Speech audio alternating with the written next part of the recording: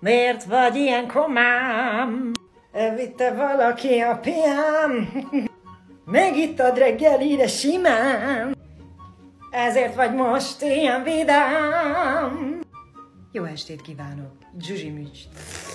Szóval jó estét kívánok. Na, elég.